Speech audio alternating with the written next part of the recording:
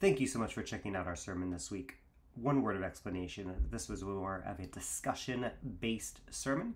So you're going to hear more voices than just Pastor Tonetta as we all collaborate on discovering the meaning of our text this week together. Thanks so much for listening in. All right, so a couple of things that uh, we'll do. Uh, so you you you're tracking with us. Uh, we're going to move into our time of proclamation, which is going to be dialogic. Uh, we'll talk some about what that means a little bit later. Uh, but to start off, I just want to say that I am deeply grateful to be in this space. I'm excited um, to come into the space that has felt like home um, for me and for several uh, other folks um, over the last three years and to share it um, with you all feels like a deep privilege. Uh, but I'll also note that I am coming off of probably one of the hardest weeks, uh, maybe ever, in our family life in terms of, uh, you know, interacting with COVID and all of that stuff. So, want to name that. And I, I realized as I was working on this, um, particularly last night, um, I realized that I was thinking about this time and this space with a desire to dazzle like i wanted to give you know a sense of like we're we're you know i want people to really understand what res city is and i want to do it in this way that feels impressive. And i kind of caught myself particularly because i was as i was looking at the passage we're going to talk about today it's the exact opposite of that feeling in lots of ways. I realized I had this desire to not expose my imperfections, to show up as invulnerable and closed, which is ex- exactly the opposite of what it means to show up as people, I believe, to show up as people who are called together in community.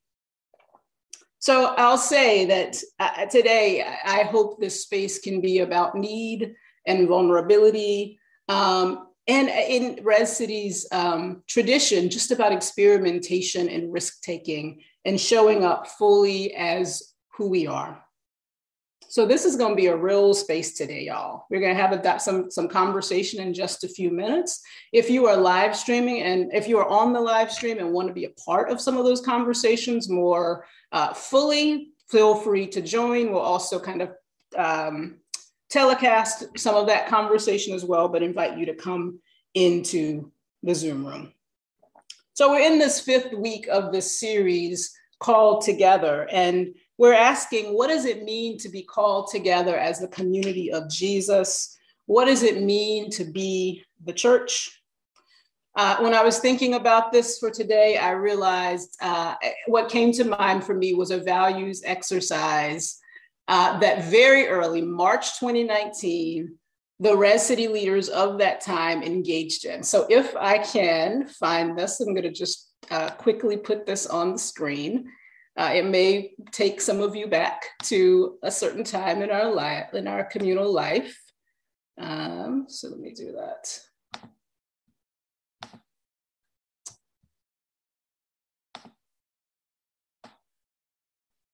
All right, here we go.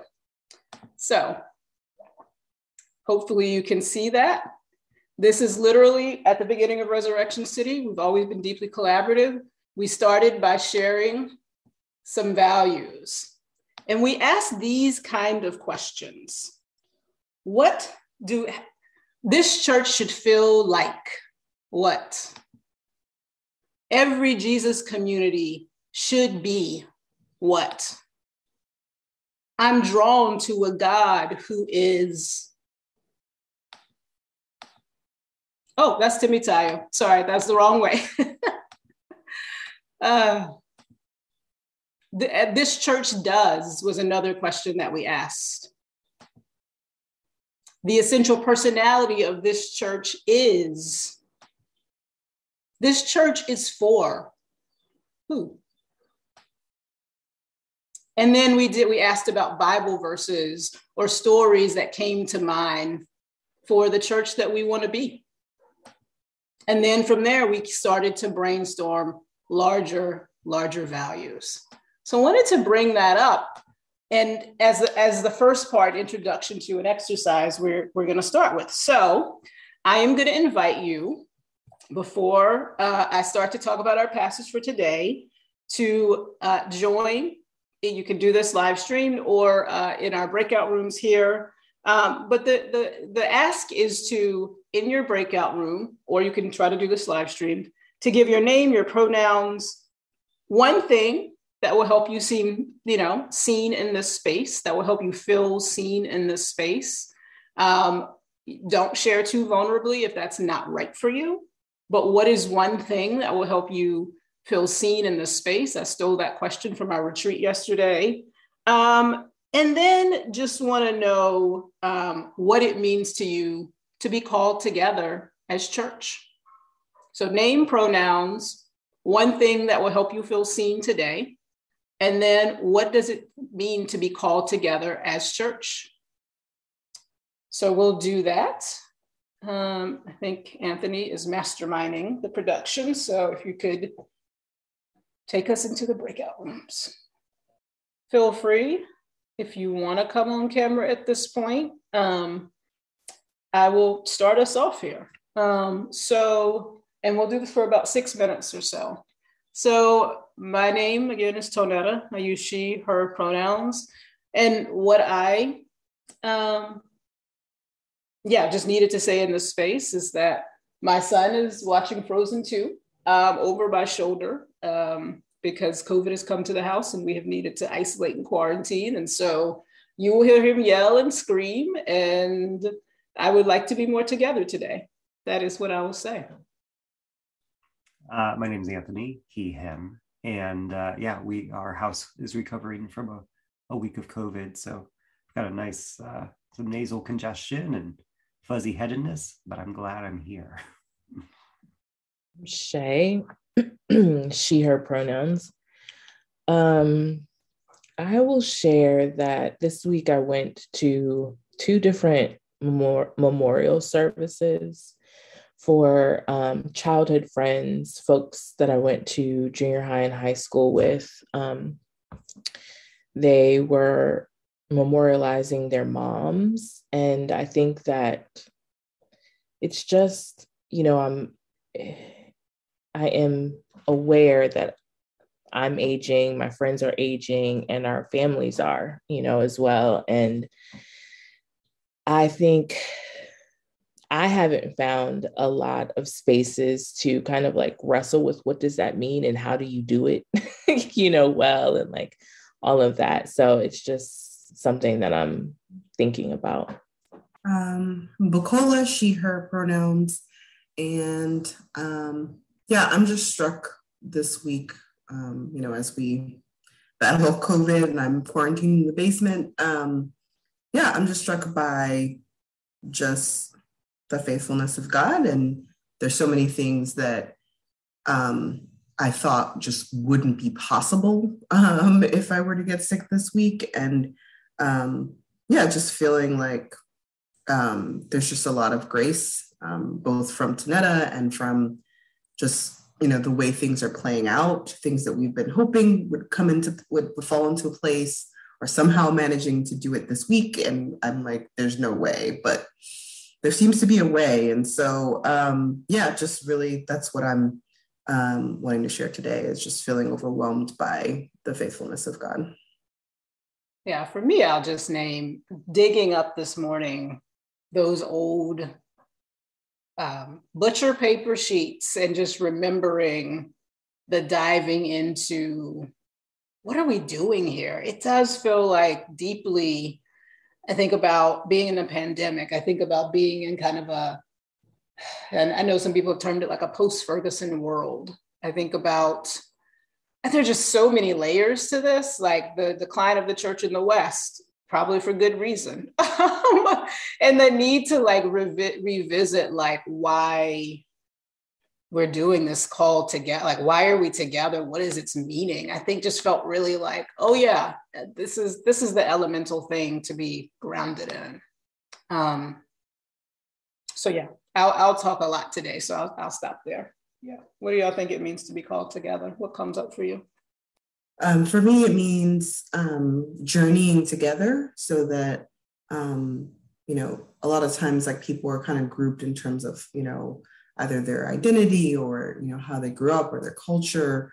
But um, I think for me, it's about being called together to find people to journey alongside you, no matter where your journey is taking you. So it's not about coming to the same positions on all the theological issues or, or you know, preferring the same kind of worship, but like journeying together because you've chosen to do so and you're committing to do so.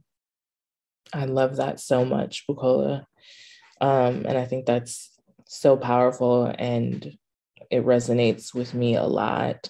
I also think when I think about journeying together, and as I was like just listening to the music this morning and feeling so much peace and also like, I don't know, just inspiration. It was like, um, to me, coming together is like being able to use all of our giftings in service of each other and what we're doing.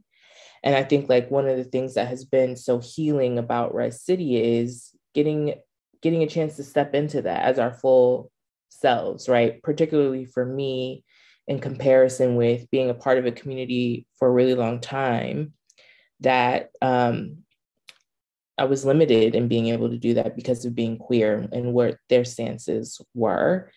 And it stifles personal, like individual growth, but I think it also stifles the growth of the larger body, right? And how we can like truly reflect Christ to one another and grow in ourselves and, and what we're trying to do together as a collective. Um, so having a space to kind of show up fully, that's that's a lot of what coming together means to me.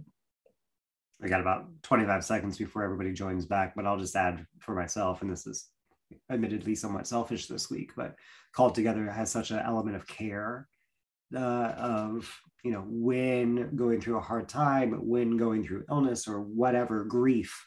Uh, it's been communities have called together people who have provided care for myself or my family or us to others. And I love communities that can actually do that well. I think we're mostly back here. All right. I hope that you were able to share and at least reflect a little bit on uh, what you what comes to mind for you when you think about being called together. I'm going to read our passage for today, um, which is from Acts 3 1 through 10. Acts 3 1 through 10. I'm going to read it slowly. Uh, I'm going to talk for probably seven minutes or so. Uh, and then we're going to turn it back over and have some talk back time, which is what at Res City we traditionally call the space where we get to all proclaim to each other what the Spirit might be saying, uh, what we sense the Spirit saying. So I'm going to read this passage. I encourage you to sink down into it. I love the scriptures and the details that we get that really uh, point us somewhere that I think is formational. So, Acts 3 1 through 10. One day, Peter and John were going up to the temple at the hour of prayer. At three o'clock in the afternoon, and a man lame from birth was being carried in. People would lay him daily at the gate of the temple called the Beautiful Gate, so that he could ask for alms from those entering the temple. When he saw Peter and John about to go into the temple, he asked them for alms. Peter looked intently at him, as did John, and said, Look at us. And he fixed his attention on them, expecting to receive something from them. Peter said, I have no silver or gold, but what I have, I give you. In the name of Jesus Christ of Nazareth, stand up and walk. And he took him by the right hand and raised him up, and immediately his feet and ankles were made strong. Jumping up, he stood and began to walk, and he entered the temple with them, walking and leaping and praising God. All the people saw him walking and praising God, and they recognized him as the one who used to sit and ask for alms at the beautiful gate of the temple.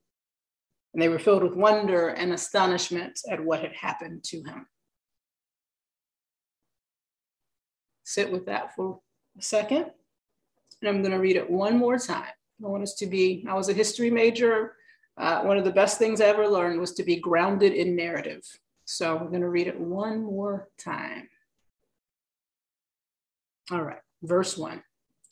One day, Peter and John were going up to the temple at the hour of prayer at three o'clock in the afternoon. And a man lame from birth was being carried in. People would lay him daily at the gate of the temple called the Beautiful Gate so that he could ask for alms from those entering the temple. When he saw Peter and John about to go into the temple, he asked for alms. Peter looked intently at him, as did John, and said, Look at us. And he fixed his attention on them, expecting to receive something from them. Peter said, I have no silver or gold, but what I have I give you. In the name of Jesus Christ of Nazareth, stand up and walk. And he took him by the hand and raised him up, and immediately his feet and ankles were made strong. Jumping up, he stood and began to walk, and he entered the temple with them, walking and leaping and praising God. All the people saw him walking and praising God, and they recognized him as the one who used to sit and ask for alms at the beautiful gate of the temple. And they were filled with wonder and astonishment at what had happened to them. Okay, so seven things to notice, and then we'll get into some talk back time. So, number one, the context of this story. So, this is the first healing story in the book of Acts. Uh, when I introduced the series, I talked about how Acts is uh, focuses on succession. It's a succession narrative. It's essentially Jesus ascends at the very beginning in chapter one, and then we see the church begin to do what Jesus did. So Peter here is essentially doing something uh, that Jesus did uh, many, many times the story of healing. Also, this it, Jesus often centered his activity in Jerusalem in the temple, and so you the first story you get about healing happens in and around the temple. So that that's important. I also just want to say it's in this section of Acts, if you're following along in this whole series and reading through the book, that you start to get a lot of conflicts um, in the story, both internal to the community and external to the community. And over and over, the apostles point the people back to their spiritual resources. They're, they're, they call them back to worship. They call them back to prayer.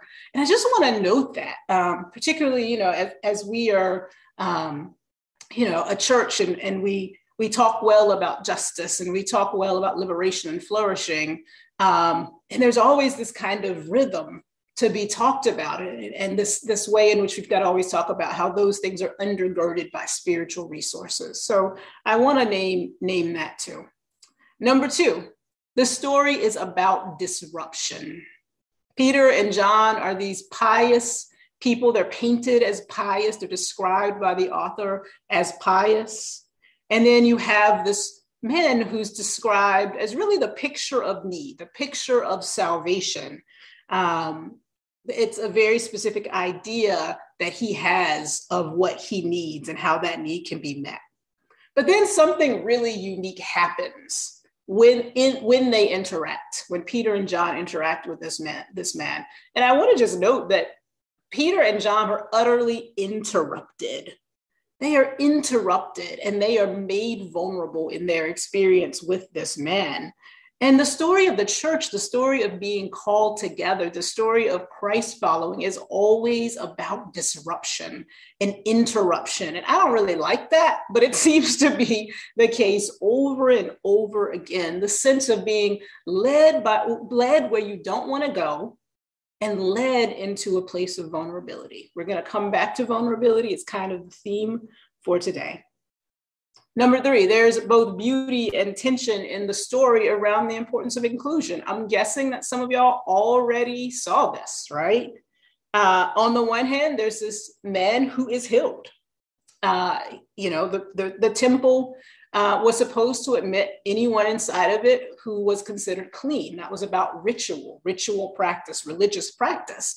And yet, there's a sense in the text where this man probably is excluded from the temple, whether or not he's clean or, clean or not, considered religiously pure or not, because he's a person with a disability that is not considered whole.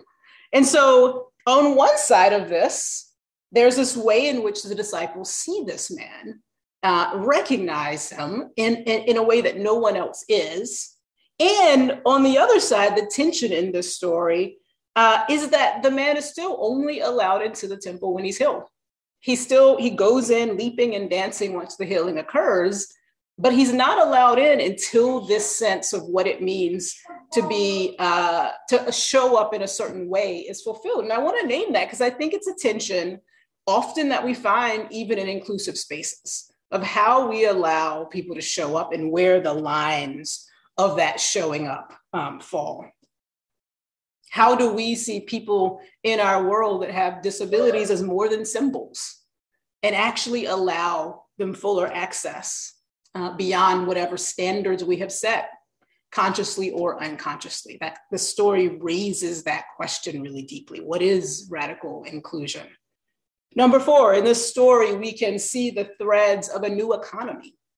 Uh, charity is expected um, of these people going to the temple it's expected and it's supposed to be personal um, it's looked upon as virtuous. I remember uh, this thread also when I spent when I've spent time in, in parts of the world that are mostly Muslim of this expectation that you walk around. This is one of the five pillars zakat. You walk around and you give alms. You give money to people personally outside of a program or system um, in order to make sure that everybody has a social safety net. Right. So there's this kind of new Frozen 2 is really good, y'all. Uh, there's this kind of new economics um, that is taking place here that is deeply rooted in the personal. Uh, and also, you see the results in this story of this resurrection practice of sharing, right? The community had all things in common. And therefore, when Peter and John come on the scene, they, they actually don't have anything they think of as just their own, which is fascinating to contemplate. It, it makes me think of a story in the myth of the American dream, which I referenced like two Sundays ago, uh, of, of the author talking about buying a car. She bought this car. It was like fuel efficient. It was small. She was super proud. It fit into all her like liberal values. And then one of her neighbors, who uh, was a refugee and had very you know, recently come to the country, said to her, "Did you not think of us when you bought this car?" Because the, her neighbor could have used that car to also like you know the, the, the author could have taken her neighbor um, to the store you know could have helped pick up groceries. Because there are all these ways in which this car if if the author had thought of the car as beyond just her own uh, that the car would have served it would have been thought about. So there's something about a new economics that is happening. And then finally in that too there's something about the way in which possessions are clearly shown to be um, yeah, uh, are clearly shown to be, uh, sorry, which spiritual resources are shown to be um, more important than spiritual possessions, right? The, in the story, there's this sense of uh, money, you know, silver and gold we don't have, but what we have, we give you. That's really important too. Our culture tells us the opposite that possessions are so much more important. Number five, in the story, and this is maybe my one of the things I love about the story, there is what uh, some have called an optical reciprocity. There's a mutual encounter that happens. Hopefully, when you heard me read this, you saw this. Peter looked intently at the man and said, Look at us. And then the man fixes his attention. It's not a one way thing. There's this deep seeing that the community of faith is called to, that disciples are called to. And I would honestly say, this might be, this might come up in talk back time. You could disagree with me. I would say, honestly, that I think one of the uh, issues in, in terms of like Western values has been an inability to, to enter into this kind of mutuality, to want to always be the host without ever being the guest. Whereas with as Christians, we know that there are examples throughout scriptures of God both guesting and hosting, of God sitting at the table and receiving and giving. And I think this story shows that there's this yes, we see you, but you can see us too. You can encounter us too. Number six, uh, I think it is critical that this story revolves around disability. Uh, I think disability uh, brings to the fore issues of difference. This is actually something uh, in, a, in a book that's fascinating called Vulnerable Communion. Uh, a guy named Thomas Reynolds wrote that. His son had Tourette's, and because of that, he was essentially pushed out of church. And so he reflects on that. And one of the things he says is that disability brings to the forefront issues of difference and normalcy and embodiment and community and, re- and redemption. There's something about thinking about what we consider disability that, that makes uh, that invites us to critique what we consider wholeness and whether what we consider wholeness is what God considers wholeness.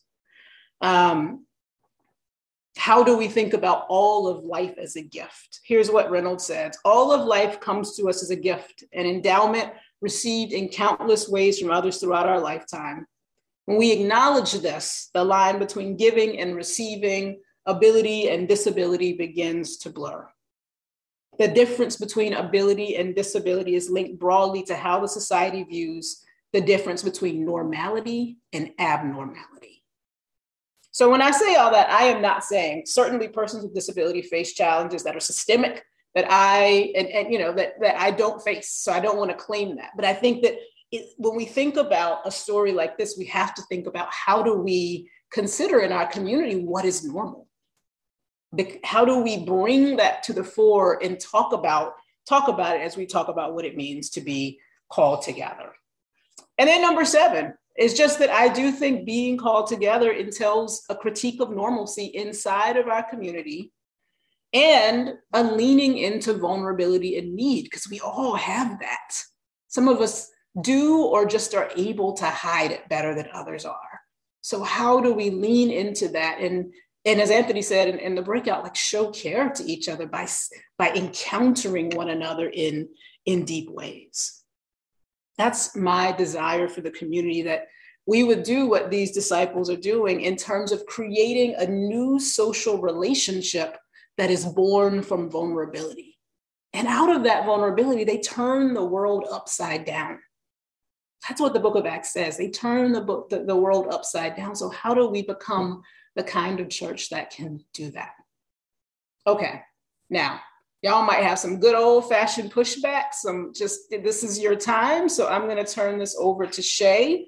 Um, so, for the next like five or six minutes, uh, Shay will guide us uh, in in reflecting. Thank you so much, Tonetta. What an incredible uh, word this morning. Several words uh, for me stood out. Um, good morning, church. I'm Shay Washington. My pronouns are she and her. It's really so great to be together, even virtually this morning, um, to gather together. Uh, so at Res City, this talkback time has has become part of our DNA, part of our tradition, part of a way of resisting uh, the narrative of colonization and white supremacy and patriarchy to really welcome communal wisdom um, into the space. And so uh, we wanted to just have a time of, of getting a chance to reflect together, to hear what's what's landing, what's resonating in our hearts and minds. As Tonetta said, that can include disagreement and pushback. It could include um, things that you know you felt you connected with, and um, I'll just start with this one prompt, um, and then I'll open the floor. And if folks would like to um, come off of mute and speak, you're welcome to do that. If you want to use the reactions and raise your hand, I'm happy to to call on people.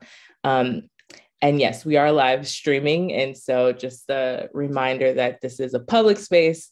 Um, but as much as you as you feel comfortable sharing, you're welcome to do that. And also you're welcome to turn your cameras on if you would like to. So the prompt is just what emerged in you as you listened to the seven things and reflected on the story, the passage this morning. Anything sticking with you? I don't think I'd ever seen the um, part about where Peter says, "Look at us," and the um, and the the gentleman looks at them and they look at him like that place of being seen was something that I'd never noticed before. And so drawing attention to that and hearing that just really struck me. Thanks for saying that, Becky. Yeah, same. Same for me too. And I my background is in the arts, so I tend I'm always thinking in like theater or film and I was like thinking about kind of directing that moment and what it would look like for the for them to be saying look at us and then like you know like the camera and what's being communicated there between between all of them really struck me too. Thanks for saying that. Anybody else? What emerged for you? I think just building on that, the thing that really resonated with me that Tonetta said was, and I wrote it down, led where you don't want to go into a place of vulnerability. And that to me is just uh, is just such a powerful word to think about and and to reflect on. Thanks, Kim. Yep. Anybody else? Hi, everyone. Um, this is Madison, she, her pronouns. Um, I was thinking about two things. One, um, every time I hear this story, I'm wondering about the friends that are referenced that keep bringing this man every day to this space. And, you know, I think we get like snippets of people's lives, but I'm always curious about the extent to which those folks are doing that out of love or like what is compelling them to do that? And i just wish there was more of that because um in our other breakout adam was saying bringing up some good points about what leadership looks like and vulnerability. And like i'm also thinking about like the, the taboos of being associated with someone who is viewed as like a social um like dejected from society or looked down upon. And what it looks like to be in community and partnership with people who have been kind of framed um, as you know being subhuman or less deserving which brings me to something else Tonetta i really liked when you were talking about like defining brokenness and how i think it's easy to get fixated on the fact that like you know just like with comparison and like constantly striving and not resting it's like but if we're not seen as broken by the person who created us, like what are we like what are we allowing society to tell us about our wholeness? Um, yeah, so those kind of things are coming to mind for me. Super powerful. Thank you so much, Madison. Yeah. Yeah. If if the if our creator isn't telling us we're broken, then yeah. There's um a lot happening in the chat too. Thanks, y'all.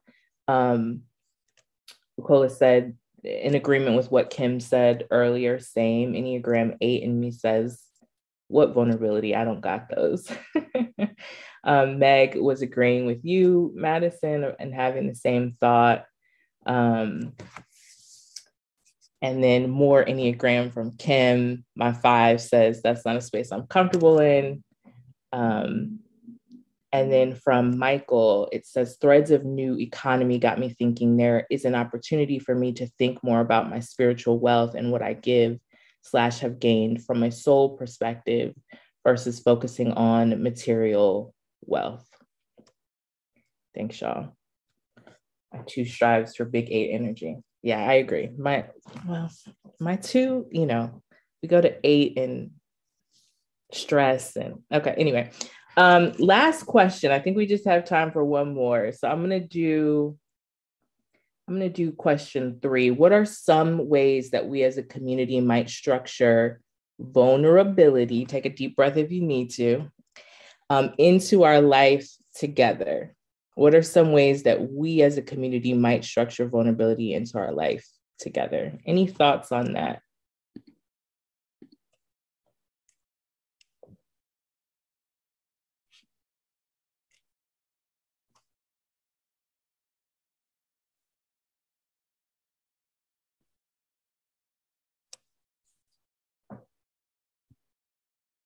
I think one thought that comes to mind for me is the rotation of speakers or of centering.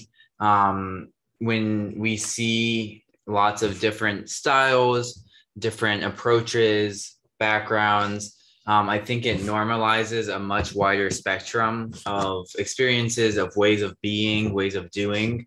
Um, and then there's less to fear about is the way I present is there a gap between that and what's viewed as you know as good or as excellent right um, and so i think in providing a more open accessible platform and you know Tonetta mentioned this yesterday but centering and decentering um, i think it provides a space for folks to really show up more how they are Mm, thanks for that, Adam. Yeah, and I think that speaks also to that question of like normalcy too, right? Like if if if what is normal for us is that there isn't necessarily a normal or that normal is inclusive of like a lot of stuff that we're we're always kind of centering and showing um then like that's that becomes like how we kind of resist there being this like one narrative as well. Any other thoughts this morning?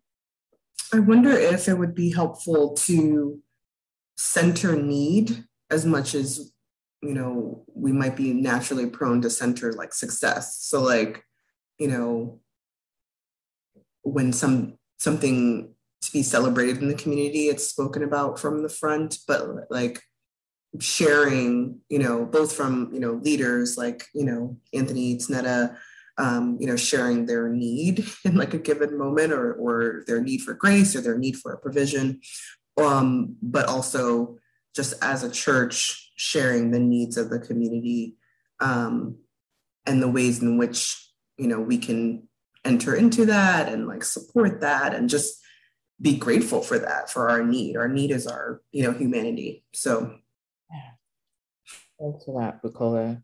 Yeah, our need is our is our humanity. Um, and I think showing that is oftentimes really the way that folks that we end up connecting to each other, right? Sometimes like we can celebrate each other's successes and wins, and also sometimes that can create kind of a distance of of just kind of like what how we internalize that and oftentimes in being able to say like hey i'm going through this thing too or i need this too it actually brings us closer uh, together in some cases. So thanks for lifting that up. Um, thank you all so much for participating this morning in our talk back time